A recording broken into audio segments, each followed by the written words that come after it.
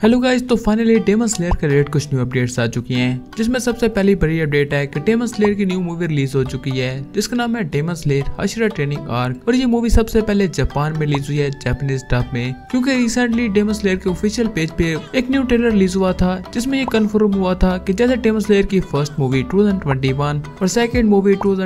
में रिलीज़ हुई थी, और रिलीज़ होने के बाद पूरा वर्ल्ड वाइड टूर किया था। इसी तरह डेमस स्लेयर की न्यू मूवी मूवी थ्री भी वर्ल्ड वाइड टूर पे निकल चुकी है, जिसमें से सबसे पहले ये मूवी 2 फरवरी को जापान में रिलीज़ हुई है और उसके बाद होल मंथ पूरे फरवरी में ये मूवी 140 कंट्रीज़ में रिलीज़ होगी, उनके ही डब में, जिसकी स्टार्टिंग जापान से हो चुकी है और यूट्यूब पे बहुत ज़्यादा लीक और ट्रेलर आ रही है। तो मूवी का जो अभी तक का फ़र्स्ट लुक है, उसके मुताबिक मूवी की लेंथ होने वाली है total one hour and forty minute जिसमें से इसके जो फ़र्स्ट सिक्सटी मिनट होंगे, वो रिकैप होंगे इसके सीज़न थ्री के कुछ एपिसोड का। और इसके बाद जो इसके नेक्स्ट फोर्टी मिनट होंगे, वो होगी original new episode demon slayer का सीज़न फोर का फ़र्स्ट एपिसोड जिसकी लेंथ होगी टोटल फोर्टी मिनट तो इन दोनों को कंबाइन करके ये मूवी रिलीज़ की गई है। इसके साथ साथ बहुत सारे एनमे फैंस कमेंट करे थे कि मूवी इंडिया में कब रिलीज़ होगी। तो फाइनली उसकी भी ऑफिशियल रिलीजिंग डेट कंफर्म हो चुकी है। ये मूवी इंडिया में 23 फरवरी 2024 को रिलीज़ होगी, जो कि हिंदी टर्म में होगी। तो जो भी एनमे फैंस डेमस लेयर के एपिसोड बिग स्क्रीन पर एंजॉय करना चाहते हैं तो उनके लिए एक बेस्ट ऑप्शन होने वाला है। क्योंकि अभी तक कोई ऑफिशियली